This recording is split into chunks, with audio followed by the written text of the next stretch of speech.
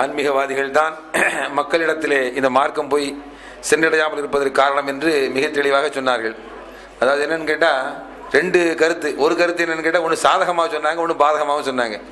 சாதகமாக என்ன சொன்னாங்க அப்படின்னு சொல்லி கேட்டால் ஆன்மீகவாதிகளை பற்றி சொல்கின்ற பொழுது அதாவது இமாம்கள் எல்லாம் அது நம்ம இன்னொரு சகோதரியுடைய மறுப்பு தெரிவிக்கும் போது சொன்னாங்க இமாம்கள் என்ன செஞ்சுருக்காங்கன்னு கேட்டால் எங்களுடைய சொல்லும் நாங்கள் சொல்லியிருக்கிறோம். ரசூல்லாவுடைய சொல்லும் உங்களுக்கு வந்துன்னு சொன்னால் எங்கள் சொல்ல தூக்கி போட்டுருங்க அப்படின்ட்டு அப்போ நல்ல ஆன்மீகவாதிகளை தான் அவங்க என்ன செஞ்சாங்க? சொல்லியிருக்கிறாங்க. அப்போ அவங்க நேர் மாற்றமான கருத்து என்ன செய்ய பதிய வச்சாங்க. இன்னொரு கருத்து சொன்னாங்க. என்ன சொன்னாங்கன்னு கேட்டால் நாங்களெல்லாம் ஆரம்பத்தில் இஸ்லாமிய பிரச்சாரம் பண்ணும்போது முத முதல்ல எதிர்த்தது யாருன்னு கேட்டால் ஆலிம்கள் தான். அப்போ கூட பத்திரிகையில் நாங்கள் பத்திரிகைலாம் எழுதிக்கிட்டு இருந்தோம். எழுதும்போது ஒரு கேள்வி வந்துச்சு. பாம்பையும் வஹாபியும் கண்டா முதல்ல யார் அடிக்கணும்? அப்படின்னு சொல்லி ஒரு கேள்வி வந்துச்சு. பாம்பும் இருக்குது வந்திருக்குது. வஹாபி ஒருத்தன் வந்துகிட்டு இருக்கிறான். இப்போ யாரை முதல்ல அடிக்கிறது? சொல்லுங்க பாப்பா யார் அடிக்கணும்? யார் அடிக்கணும்? பாம்பு அடிக்கவா இவனை போய் அடிக்கவா? நாங்கள் என்ன சொன்னா வஹாபியத்தை அடிக்கணும் அப்படின்னு சொன்னான். ஆமா வஹாபினா நம்ம அதாவது என்ன கேட்டால் நாங்கள் இந்த தௌஹீத்வாதிகள். அதாவது குரான் ஹதீஸ் பிரகாரம் நடக்கணும் அப்படின்னு சொல்றவங்க தான் வஹாபின்னு சொல்றது. அதாவது அது தப்பாக சொல்றாங்க அது வேற விஷயம். பாம்பையும் வஹாபியும் கண்டா முதல்ல இவனை தான் அடிக்கணுமா? பாம்பு அடிக்கக்கூடாது. ஏன் தெரியுமா? பாம்பு வந்து இவனுக்கு வயித்துல கை வைக்கல. வஹாபி தான் வயிற்றுல கை வச்சுட்டான். எப்படி கை வச்சுட்டான் தெரியுமா? மௌலுது ஓதக்கூடாதுன்னா அஞ்சு ரூபா போச்சு. பத்து ரூபா போச்சு. இப்போ ஒரு வீட்டில் போய் மௌலுது ஓதுனா அவனுக்கு பத்து ரூபா கிடைக்கும். பத்து ரூபா போச்சு. அடுத்து என்னன்னு கேட்டால் கல்யாணத்தில் காசு கிடைக்காது. ஜனாசா சொல்ல வச்சா காசு கிடைக்காது. மௌலுது ஃபாத்திகா கூடு கொடி கந்தூரி எல்லாம் இருக்காது இல்லை அப்போ எல்லாமே போயிடுச்சு வருமானம் போயிடுச்சு சாப்பாடு போயிடுச்சு இப்போ மௌலுது ஓதுறாங்க. இல்லை இறந்து போயிட்டாங்க. ஆறாம் நாள் ஃபாத்தியா இப்போ நாற்பது நாள் ஃபாத்தியா ஐம்பது நாள் ஃபாத்தியா வருஷ ஃபாத்தியா ஓதுனா சாப்பாடு கிடைக்கும். சாப்பாடும் போச்சு. இதெல்லாம் போக வச்சது யாரு? வஹாபிகள் வந்து போக வச்சாங்க. வஹாபிகள் சொன்னால் இதெல்லாம் கூடாதுன்னு சொல்றவங்க. அதனால பாம்பை பாம்பையும் வஹாபியும் கிட்ட முதல்ல யார் அடிக்கணுமா? வஹாபியை தான் அடிக்கணும்னு என்ன செஞ்சானுங்க? அந்த காலத்தில் சொல்லிக்கிட்டு இருந்தாங்க. அப்போ இருந்து பாருங்க அப்போ ஆன்மீகவாதிகள் தான் என்ன செய்ய கெடுத்துக்கிட்டு இருந்தாங்க அப்படிங்கிறது மாதிரி என்ன செய்றாங்க சொன்னாங்களா இல்லையா? அதனால ஆரம்பத்தில் எதிர்ப்பு என்னன்னு கேட்டால் எங்களுக்கெல்லாம் எதிர்ப்பு வந்ததே என்னன்னு கேட்டால் இந்த ஆன்மீகவாதிகள் மூலமாக தான் அதாவது மற்ற பாமர்கள்லாம் விளங்கிடுவான் இவங்க சொல்றது சரி. இவங்க சொல்றது உண்மை. இவங்க உண்மையை தான் சொல்றாங்கன்னு விளங்கிடுவாங்க ஆனா பள்ளிவாசல் இருக்கிற ஆலிம் சார் இருக்காரு தெரியுமா? அவர் தான் சொல்லுவார் என்ன கேட்டால் இவன் வந்து இஸ்லாத்துக்கு விரோதி. இவங்க இவங்ககிட்ட என்ன செய்யாதீங்க போகாதீங்க. இவன் சகோதரிகள் தங்க அணியின் வ- சார்பாக வாதங்களை எடுத்து வச்சாங்க. அலமதுல்லா அல்லா தாலா அவங்களுக்கு ரொம்பவே அழகான பேச்சு திறமையை கொடுத்துருக்கான். அதாவது சகோதரி ராகிலா சொன்னாங்க ரசூல் சல்லா அலிவாஸ்லம் அவங்க எத்தி வச்சு லட்சக்கணக்கான மக்கள் வந்து இஸ்லாத்தை ஏத்துக்கிட்டாங்க அப்படின்னு சொல்லி சொன்னாங்க. லட்சக்க ஏத்தவங்க லட்சக்கணக்கில் இருக்கலாம். புறக்கணிச்சவங்க எத்தனை பேர் எத்தனை பேர் சகோதரி? எத்தனை பேர்? கோடான கோடி பேர். அந்த புறக்கணிப்புக்கு என்ன காரணம் அப்படிங்கறத பத்தி தான் இந்த பட்டிமன்றமே வந்து ஏற்பாடு ஏற்பாடு செய்யப்பட்டிருக்கு. முதல்ல இதுக்கு எல்லாத்துக்கும் காரணம் அலட்சியம் தான் நான் ஆணித்தனமா சொல்லுவேன். எப்படின்னா இந்த சகோதரி சொன்னாங்க இந்த பத்துலா சொன்னாங்க முன்னோ நாங்கள் நாங்க வந்து பயன்பெற போது இருக்கு- இது- பேசும்போது வந்து நிறைய பேர் இருக்காங்க. பேச பேச எந்திரிச்சு போயிடுறாங்க. காரணம் ஆன்மீகவாதி முன்னோர்களை வந்து பழி போடுறாங்கன்னு சொல்லி சொல்றாங்க. ஏன் முன்னோர்களை பழி போடுறாங்க அப்படின்னா கண்டிப்பா அவங்க வந்து அலட்சியம் மார்க்கெட்ல அலட்சியமா இருக்கங்காட்டிக்கு தான் முன்னோர்கள் மேல பழிய போடுறாங்க. இப்போ ஒரு குழந்தைக்கு வந்து ஏதாவது சாப்பாடு கொடுக்குறோன்னு வைங்களேன். அந்த குழந்தைக்கு அது சாப்ப அது வந்து பிடிக்கலன்னு வைங்க. அந்த குழந்தைக்கு பிடிக்கல அந்த குழந்தை என்ன சொல்லுது?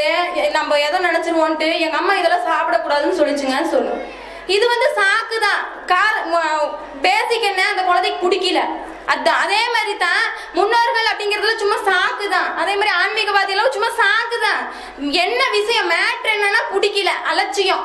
அது இதெல்லாம் என்ன அப்படின்ற அலட்சியம்.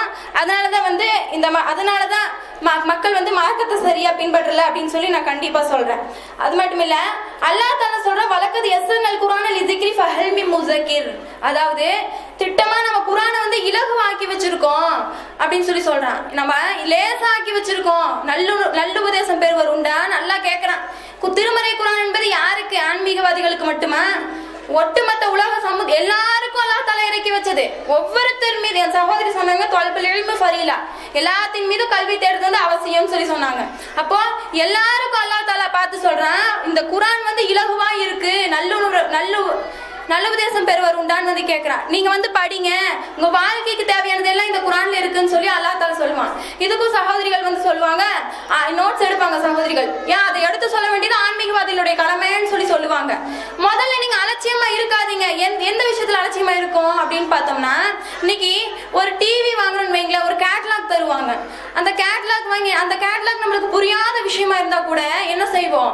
யாரையாவது கூப்பிட்டு இது கொஞ்சம் விளக்குப்பா அப்படின்னு சொல்லி சொல்லுவோம். நான் சொல்லுவான் விடுங்க பாய் சும்மா ஆப்ரேட் பண்ணுங்க. என்ன ஆயிருப்போது அப்படின்னு சொன்னா அட மடையன் எதுக்குடா அவன் கொடுத்துருக்கான்? சும்மாவா கொடுத்துருக்கான் பொழப்பு இல்லாம அப்படின்னு சொல்லி சொல்லுவாங்க. அப்போ அந்த ஒரு மனிதன் கொடுத்துருக்கக்கூடிய அந்த கேட்லாக்கு எவ்வளவு முக்கியத்துவம் கொடுக்கக்கூடிய நம்ம எவ்வளவு விவரம் பார்த்தீங்களா நம்ம நமக்கு டிவி கட்டு போயிடும் இல்லாட்டினா ஒழுங்கா ஆப்ரேட் பண்ணலன்னா டிவி கட்டு போயிடும் அப்போ என் எதுக்கு முக்கியத்துவம் கொடுக்குறோம் டிவி மேல? டிவி பிடிச்சிருக்கு. அந்த விஷயம் நமக்கு பிடிச்சிருக்கு. மார்க் அதே மாதிரி அல்லாஹால சிறந்த ஒரு கேட்லாக் கொடுத்துருக்கான். நம்ம எப்படி வாழணும்? எப்படி வாழ்ந்தா சொர்க்கத்துக்கு போகணும்னு சொல்லி ஒரு சிறந்த கேட்லாக் வந்து நம்முடைய திருமறை குரான் இதையே நம்ம கண்டுக்கிறது இல்ல அலட்சியம் தான் இதனால என்ன? இதை படிச்சு இப்ப என்ன போகுது? அப்படின்ற அலட்சிய போக்கு தான் வந்து காரணமா இருக்கு. இன்னைக்கு ஆன்மீகவாதிகள் ஆன்மீகவாதிகள் சொல்றாங்களே நீங்க ஏன் ஆன்மீகவாதிகள் ஆன்மீகவாதிகளுக்கு மட்டும்தான் மார்க்கமா நமக்கெல்லாம் கடமையா இல்லையா? நம்மளும் கொஞ்சமாவது முயற்சி செய்யணுமா இல்லையா? முழு அவர் மேலேயே தலையில கட்டிடுறதா? ஏன் உங்க சொத்தை கொண்டு போய் கொடுத்துருவீங்களா ஆன்மீகவாதிகிட்ட ஆன்மீகவாதிகிட்ட போய் அஜரத்து அஜரத்தை இந்தாங்க என் சொத்தை வச்சுக்கோங்க. கேட்கும்போது அப்பப்ப கொஞ்சம் செலவுக்கு பணம் கொடுங்கன்னு சொல்லுவோமா? எப்படி மனசு அடிச்சுக்கும்? ஐயோ சரியா கொடுக்குறானா? இல்லையா? அப்படின்னு சொல்லி பக்கு பக்கம் அடிச்சுக்குமே. சொத்தை கொண்டு போய் கொடுப்போமா ஏன் மார்க்கத்தை மட்டும் அவன் தலையில கட்டிட்டோம்? நம்மளுக்கு அதுல பங்கு இல்லையா? அன்னை ஆயிஷா நான் எப்படி இருந்தாங்க தெரியுமா சகோதரிகளே? நான் பெரிய பெரிய பெரிய பெரிய சஹாபி சஹாபிகள்லாம் வந்து அது சஹாபாக்கள் பெரிய பெரிய ஆண் சஹாபாக்கள்லாம் வந்து ஆயிஷா அலிகிட்ட வந்து மார்க்க விளக்கம் கேட்பாங்களாம். ஆயிஷா அலி இது இப்படி இல்ல இப்படிதான் ரசூலா சொன்னாங்கன்னு சொல்லி சொல்லுவாங்களாம். இவங்க குரானை வந்து மனநம் செய்த பெண்மணி. அன்னை ஆயிஷா அலி எல்லாம் அவங்கள பார்த்து நம்மள பொறாம பண்ணும். மார்க்கத்துல அவங்க எந்த அளவுக்கு ஈடுபாடா இருந்திருக்காங்க? சரி ரசூலா பெரிய ஆன்மீகவாதி அப்படின்னு சொல்லிட்டு இருந்துட்டாங்களா? கல்வி அவங்க தேடலையா? அப்ப நம்மளும் வந்து கல்வியை தேடணும். இப்படியே தேடாம தேடாம தேடாம தேடாம என்ன ஆகுதுன்னா எந்த விஷயத்தையுமே நம்ம வந்து அறியாம இருக்கோம். இன்னும் அறியாம இருந்து அதிகமாக நம்ம அலட்சியப்படுத்திட்டு இருக்கோம் சகோதரிகளே. இன்னைக்கு அடிப்படை கடமை என்ன? நடுவரவர்களே இன்னைக்கு இஸ்லாத்தினுடைய தலையாய கடமை என்ன? அப்படின்னா என்ன? த- தொழுகை தான் இந்த தொழுகையில எத்தனை பேர் அலட்சியமா இருக்கும்? நான் சகோதரி சாயிதா சொன்னாங்க கலா தொழுகைன்னு சொல்லி சொன்னாங்க. கலா தொழுகை வந்து அஜர்குமார்கள் ஏற்படுத்திட்டான்னு சொல்லி சொன்னாங்க. கலா தொழுகை தொழுகிறவங்க ஒரு சிலர் தான் அதையும் கூட தொழுகாம இருக்கவங்க எத்தனை பேரு? அப்போ தொழுகையில எவ்வளவு புறக்கணிப்பு? தொழுகையில சாதாரண கிடையாது தொழுகைங்கிறது. அல்லாவோட உரையாடக்கூடிய ஒரு வாய்ப்பு இருக்குது தெரியுமா? அப்போ இன்னைக்கு யாராவது டிவியில வந்து சொல்றான். இந்த மாதிரி நான் கேட்கிற கேள்விக்கு பதில் எழுதி போடுங்க. இந்த நடிகனோட நீங்க டின்னர் சாப்பிடலாம்னு சொல்றான். விடுவோமா? ஐயோ எப்பேற்பட்ட ஒரு வாய்ப்பு. இவன்லாம் நம்ம இதெல்லாம் கொடுத்து வச்சிருக்கணும். எப்படியாவது எழுதி போட்டு அவங்க கூட பேசிடணும் டின்னர் சாப்பிடணும்னு சொல்லிட்டு நம்ம எவ்வளவு இது பண்ணிக்கிறோம்? அப்ப அல்லாஹோட அல்லாஹ் அல்லாஹ் கொடுத்துருக்க எல்லாமே அல்லாஹ் நம்மளுக்கு எல்லா எல்லாமே அல்லாஹ் கொடுத்த அருட்பட தான். அப்ப அப்படிப்பட்ட இறைவன் கூட பேசக்கூடிய வாய்ப்பை நம்ம துச்சமா மதிக்கிறோம் இல்லையா? தொழுகலைன்னா என்ன காரணம்? எனக்கு இதெல்லாம் முக்கியம் இல்லை அப்படின்னு சொல்லி சொல்லாம சொல்றோம். அது மட்டும் இல்ல இந்த மாதிரி தன்னை தொழுகாததுக்கு என்னென்ன காரணம் சொல்றோம்? எனக்கு வந்து உடம்பு சரியில்லைன்னு சொல்லி சொல்றோம். அன்னைக்கு ஒரு சஹாபி இம்ரான் இப்னு ஹுசைன் எல்லாம் என்ன சொல்றாங்க? ரசூலோட போய் யார சொல்லலாம் எனக்கு மூலவியாதி இருக்கு. நான் எப்படி தொழுகிறதுன்னு கேக்குறாங்க. பாருங்க. பைல்ஸ் இருக்கு. நான் எப்படி தொழுகிறதுன்னு கேக்குறாங்க. இப்ப நாம இன்னைக்கு என்ன சொல்றோம்? ஒரு காய்ச்சல் இருந்துச்சுன்னா ஐயா ஜாலி. இன்னைக்கு நம்ம தொழுக விட்டுறலாம். நம்மளுக்கு சாக்கு கிடைச்சிச்சுன்னு சொல்லி நினைக்கிறோமே. இப்ப தொழுகையில எவ்வளவு அலட்சியமா இருக்கும்? இன்னையும் ஹஜ் பணம் எவ்வளவோ காசு வச்சுட்டு ஹஜ் அலட்சியப்படுத்தக்கூடிய மக்கள் எத்தனை பேரு? ஹஜ் செய்யாம அடுக்கடுக்கான மாடிகள் கட்டிக்கிறான். அவனுக்குள்ள ஒரு பையன் எங்க காசு குறைஞ்சிருமோண்டு இப்போ இப்படி எல்லாம் செய்யறையே உனக்கு இது பெ- இதுதான் பெருசா இருக்கு. அப்ப அல்லாஹ் சொல்லக்கூடிய கட்டளைகள் சட்டத்திட்டங்கள் எல்லாம் உனக்கு பெருசா தெரியல. அப்ப அலட்சியப்படுத்துறேன்னு தானே அர்த்தம். மக்கள் மார்க்கத்தை சரியா பின்பற்றலைன்னா என்ன காரணம்? அலட்சியம்ட்டு போக வேண்டியதானே? எதுக்கு நாலு நாலு அணி? நான் கேட்குறேன் அது மட்டுமா? இன்னைக்கு மது குடிக்க மது குடிக்க கூடாது ஹராம். போதை விட்டக்கூடிய எல்லாமே ஹராம். ஆண்களும் பாப்பீங்க தானே? அவங்களுக்கு நான் சொல்றேன். இன்னைக்கு எத்தனை பேர் சர்வசாதாரணமா வெக்கமே இல்லாம ரோட்ல சர்பத்தை குடிக்கிற மாதிரி மடக்கு மடக்குன்னு குடிச்சிட்டு தானே திரியிறோம்? அன்னைக்கு அன்னைக்கு சஹாபாக்கள் அல்லா தாலா வந்து கட்டளையிட்டான் மது குடிக்காதீங்க ஹராமுன்னியும் அனசுலிய பார்த்து அபுதுல் ஹார் அலி சொல்றாங்க அனசையை கொண்டு போய் வெளியில கொட்டிருங்கன்னு சொல்லி சொல்றாங்க. அல்லா தாலா வர- வசனத்தை இறக்கிற மாத்திரத்திலேயே அவங்க வந்து கட்டுப்பட்டாங்க. அவங்களுக்கு மார்க்கம் பெருசா தெரிஞ்சுச்சு. அல்லாவுடைய போதனைகள் பெருசா தெரிஞ்சுச்சு. அதுதான் முக்கியமா தெரிஞ்சுச்சு. நமக்கு அது தெரியறது இல்ல உலக ஆசை தான் பெருசா இருக்கு.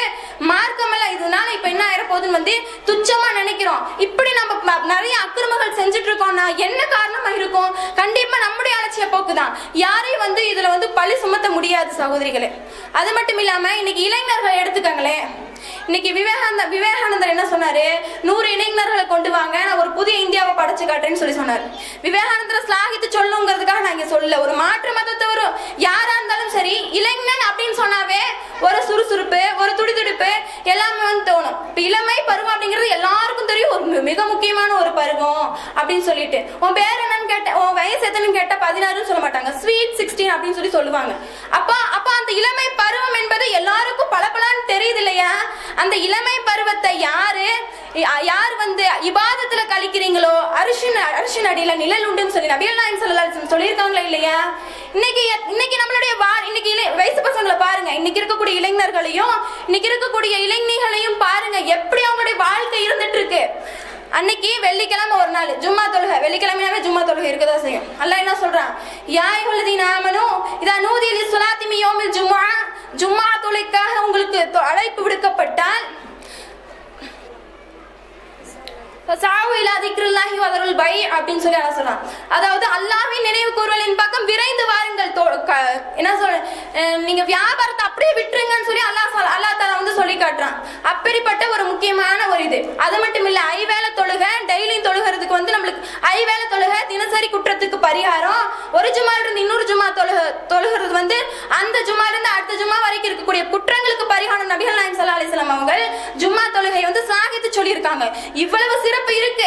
என்ன செஞ்சாங்க நம்முடைய சகோதரர்கள்? அன்னைக்குன்னு பார்த்து சிவாஜி படம் ரிலீஸ் பண்ணிட்டான். என்ன செஞ்சாங்க? ஜும்மா ஜும்மா தொழுகையா? சிவாஜி படமா? அன்னைக்கு அபு ஹுரேரா ரலியல்லாஹு என்ன செய்வாங்க? ரசூலா கூடயே உட்காந்துருப்பாங்களாம் போவே மாட்டாங்களாம். எது சாப்பாடு கூட எல்லா சஹாபாக்கள் போனா கூட இவங்க போக மாட்டாங்களாம் என்ன செய்வாங்க? ரசூலா ஏதாவது கொடுத்தா வாங்கிக்குவாங்களாம். தொழுகை உனக்கு மார்க்கமா குடும்பமா? மார்க்கம் தான் உனக்கு மார்க்கமா மனைவியான்னு கேட்டா எனக்கு மார்க்கம் தான் சொல்லி சொன்னாங்க அந்த சஹாபாக்கள். இன்னைக்கு எப்படி இருக்காங்க? உனக்கு சிவாஜி படமா? அல்ல உனக்கு வந்து அல்லாவுடைய கட்டளையானா எத்தனை சக எத்தனை சகோதரர்கள் தெரியுமா? ஜும்மாவை கட் பண்ணிட்டு அன்னைக்கு சிவாஜி படம் பார்க்கணும் அப்படிங்கிறதுக்காக போனாங்க. அப்ப இதுக்கெல்லாம் என்ன காரணம்? இதுக்கெல்லாம் இவங்கள காரணம் சொல்ல முடியுமா? ஆன்மீகவாதிகள் டிக்கெட் எடுத்து கொடுத்தாங்களா? முன்னோர்கள் எழுதி வச்சுட்டு போயிருக்காங்களா சிவாஜி படம் பார்க்கணும்னு அப்ப என்ன காரணம் முழுக்க முழுக்க அவங்களுடைய அலட்சியம் தான் லா தசிரு வாசிரத விசிற உஹ்ரா. அல்லாஹ் தெளிவா சொல்லிட்டா ஒருவனுடைய சுமையை இன்னொருத்தவங்க சுமக்க முடியாது. அடுத்த அடுத்த லைன்ல எல்லாம் சொல்லும் பொழுது அதிக பழுவுடைய ஒருவன் தன்னுடைய உற்றாருடைய சுமையாக இருந்தாலும் சுமக்க மாட்டான் அப்படின்னு சொல்லி அல்லாஹ் தெளிவா சொல்லிட்டான் ஆக ஒருவன் மார்க்கத்தை சரியா பின்பற்றல அப்படின்னா அது என்ன காரணம்னா அவனுடைய அலட்சிய போக்கு தான் காரணம் அப்படின்னு நான் ஆணித்தரமா சொல்றேன். அன்பான சகோதரிகளே பட்டிமன்றம் ரொம்ப விறுவிறுப்பாக போய்கிட்டு இருக்குது அதாவது அலட்சியமும் அறியாமையும் தான் காரணம் அப்படிங்கிற அணியில் மிக தெளிவான ஆதாரங்களை எல்லாம் அனிஸ் அனீஸ் ஃபாத்திமா அவர்கள் எடுத்து வச்சாங்க. ரொம்ப அழகாக சொன்னாங்க. இப்போ டிவி வாங்க போகிறீங்க கேட்லாக் ஒன்று தாரான் அப்படின்னா உடனே போய் புரியாத மொழியில் இருந்தால் விட்டுருவீங்களா? உடனே என்ன செய்வீங்கன்னா இங்கே ஏற்றிட்டு போவீங்க. அதே மாதிரி ஒரு கடிதம் வருதுன்னு வச்சுக்கிறேன் உங்களுக்கு ஒரு கடிதம் வருது. வேற மொழியில கடிதம் வந்துருச்சு அரபுல கடிதம் வந்துருச்சு. உடனே தூக்கிட்டு ஓடுவார். எங்க ஓடுவார் தெரியுமா? ஆனா இருந்தாலும் பின்னா பெண்ணா ஓடுவாங்க. எதுக்கு ஓடுறாங்க? இங்க விசா வந்துருச்சோ வெளிநாட்டு போறதுக்கு அப்படின்னு நினைச்சுவாங்க படிக்க போவாங்க. ஆனா குரான் இருக்குது. அது வேற மொழியில இருக்குது. அதை என்னைக்காவது தூக்கிட்டு போய் நீங்க எங்கேயாவது ஒரு ஆலிம் சார்ட்ட கேட்டீங்களா? இது என்ன இருக்குது? அல்லாஹ் எனக்கு என்ன சொல்லியிருக்கான்? அல்லாஹ் நமக்கு தான் அனுப்பியிருக்கிறான் அந்த குரானை.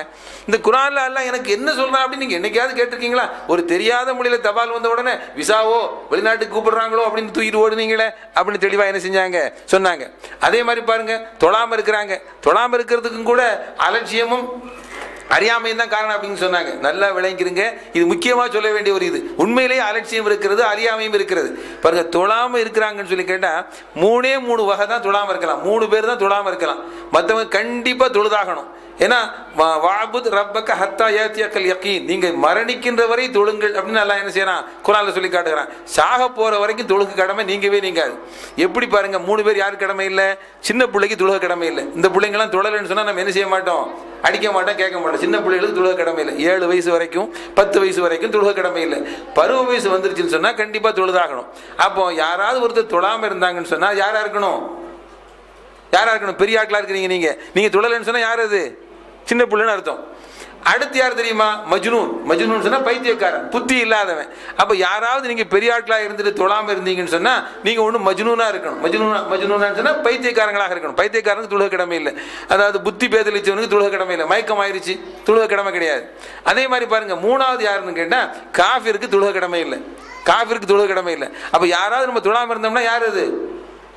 யாரு? காஃபிர். அப்போ அலட்சியமா நம்ம என்ன செய்யணும்? இருக்கிறோம். நாலாவது யார் தெரியுமா? அது பெண்களுக்கு மட்டும் சிறப்பான அது தனிய தனிப்பட்ட சட்டம். மாதவிடாய் பெண்களுக்கு தொழுக கடமை இல்லை. அப்போ ஆணோ பெண்ணோ ஒருத்தர் தொழுகாமல் இருந்தாருன்னு சொல்லி கேட்டால் ஒன்று சின்ன பிள்ளையா இருக்கணும்.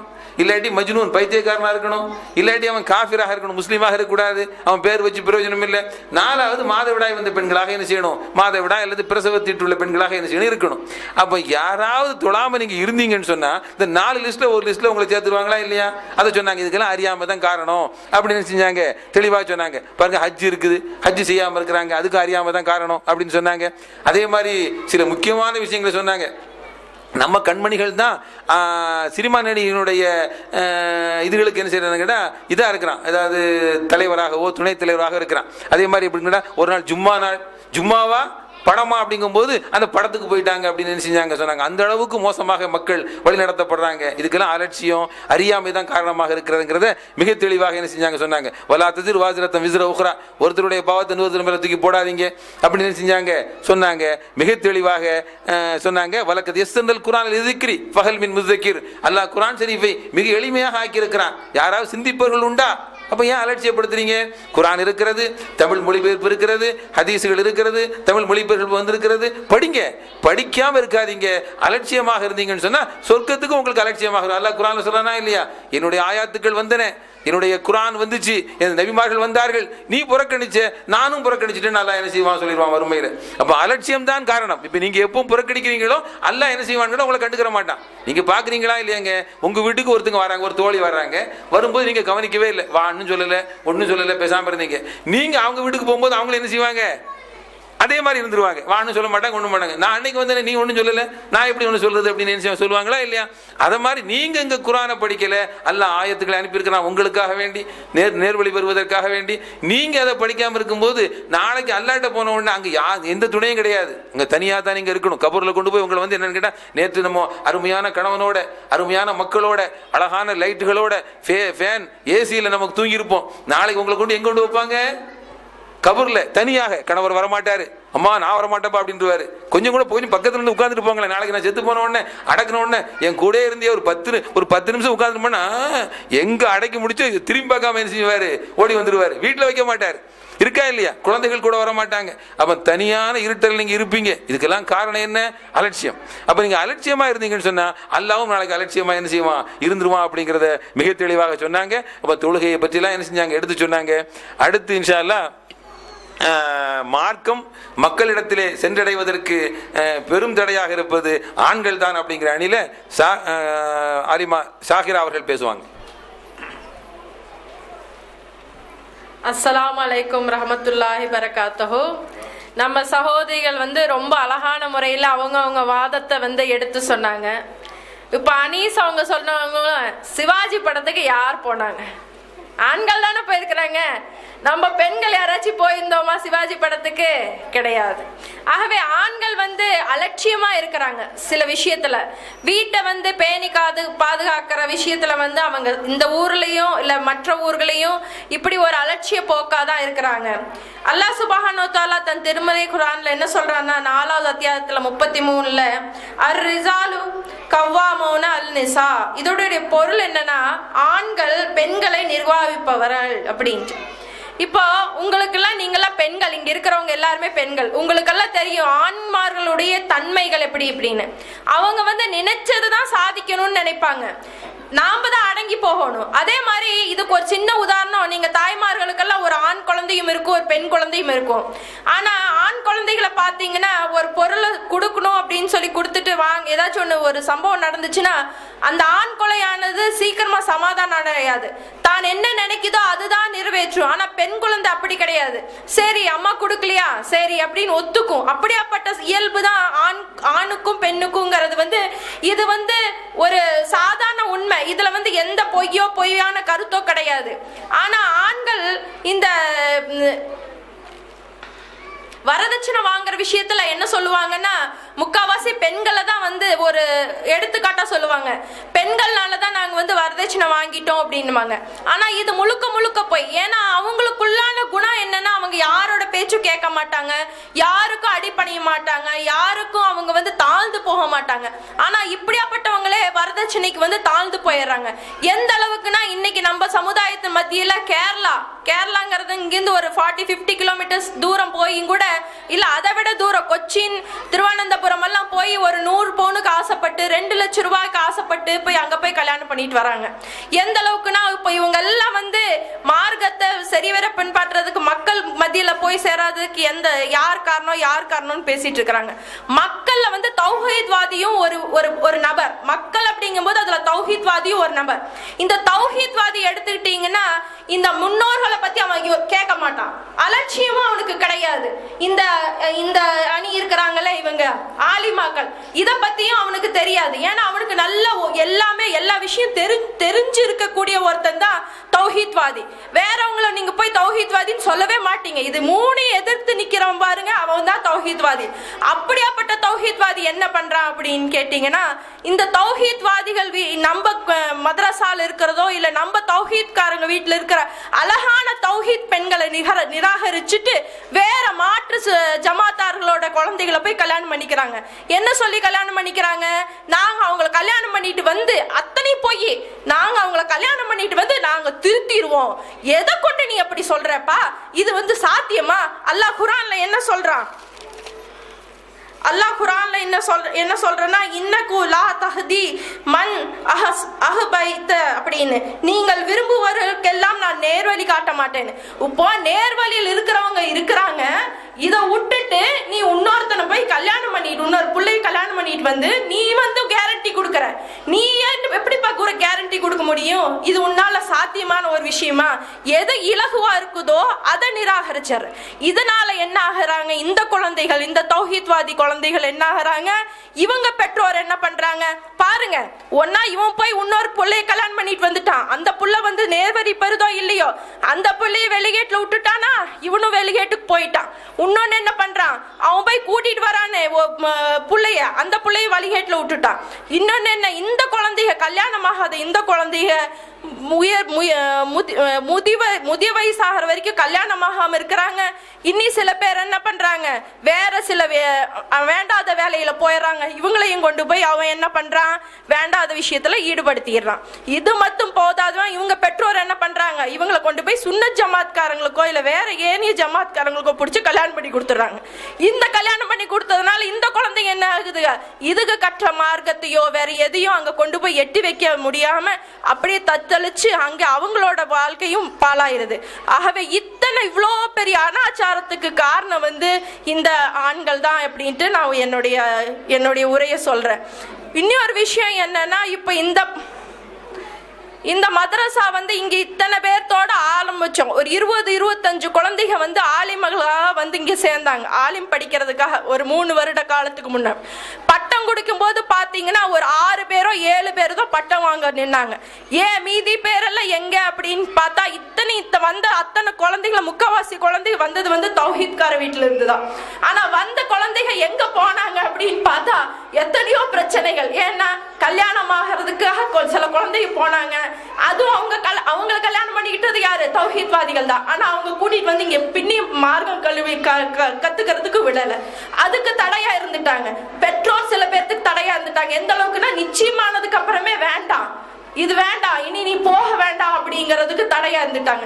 ஏன் இன்னைக்கு தாவா பண்றதுக்காக இந்த ஆறு குழந்தைகளும் விரும்பினாலும் கூட எத்தனையோ பெற்றோர்கள் அதுக்காக வந்து தடையா இருக்கிறாங்க. இந்த பெற்றோரும் தௌஹீத்வாதிக தான் அதுக்கு என்ன சொல்றாங்க? போதும் நிச்சயமாயிருச்சு.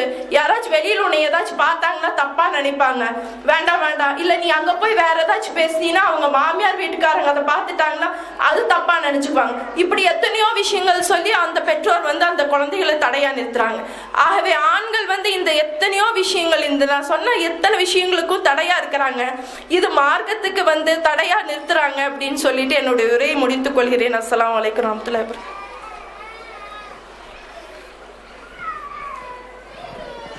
ஷாக்கிர் ஆலிமா அவர்கள் நமது இஸ்லாமிய மார்க்கம் மக்களிடத்திலே சென்றடைவதற்கு தடையாக இருப்பது ஆண்கள் தான் அப்படிங்கிறத மீண்டும் மீண்டும் சொல்லிக்கிட்டு இருக்கிறாங்க அதில் சில இடங்களில் பெற்றோர்கள் பெற்றோர்கள்னு சொன்னாங்க. அது ஆணும் பெண்ணும் தான் பெற்றோர்களாக இருக்க முடியும். அப்போ பெண்ணும் தான் காரணம் அப்படிங்கிறத என்ன செய்கிறாங்க ஒத்துக்கணும் செஞ்சாங்க. ஏன்னா ஆணும் பெண்ணும் தானே பெற்றோராக இருக்க முடியும். ஒரு ஆணும் பெண்ணும் தான் என்ன செய்ய சேர்ந்தா தான் குழந்தைகளுக்கு செய்ய உருவாகும். அப்போ பெற்றோர்களாக இருக்க முடியும். பெண்ணும் தான் அப்படிங்கிறத ஏற்றுக்கிட்டாங்க ஆண்கள் சிவாஜி படத்துக்கு போகிறாங்க பெண்கள் என்ன போவா செஞ்சாங்கன்னு கேட்டாங்க. வீட்டுக்கு வரும் பார்த்துக்கலாம் டிவியில் அப்படின்னு சொல்லி இருந்திருப்பாங்க ஒருவேளை. அதனால தான் என்ன செய்ய போகாமல் இருந்திருப்பாங்க. இந்த கூட்டத்தில் எங்கே போய் நம்ம முண்டி அடிச்சுக்கிட்டு இருக்கிறது? அப்படின்னு கூட ஒருவேளை இருந்திருக்கலாம்.